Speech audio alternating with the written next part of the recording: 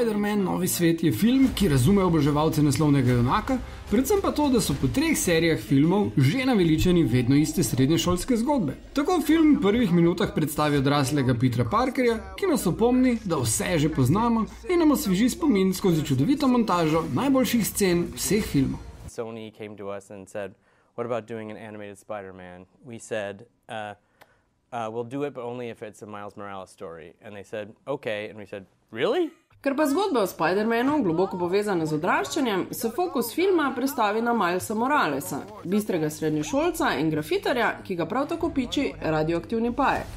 Morales je seveda ena bolj priljubljenih novejših stripovskih podob človeka pajka, ampak v novem svetu ni sam. Zaradi nesreče med znanstvenim poskusom se odpre vrzel v druge dimenzije in iz njih letijo različne inkarnacije pajkovskih superjunakov, ki na to Milesu pomagajo rešiti svet.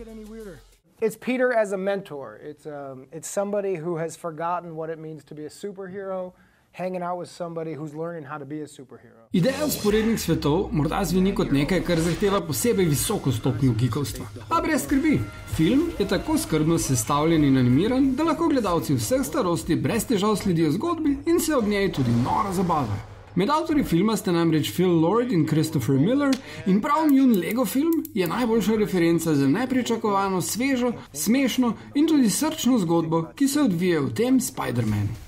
To support and be somewhat of a mirror and a voice and a sounding board for Miles. V zadnjem desetletju so po stripih posneti igrani filmi med najbolj popularnimi na svetu, a pravzaprav nobena od teh mega uspešnic ne pride blizu vizualni čarovniji in pristnemu navdušenju nad zmožnostmi nadgradnje stripovskega medija, ki ga prikaže ta animacija.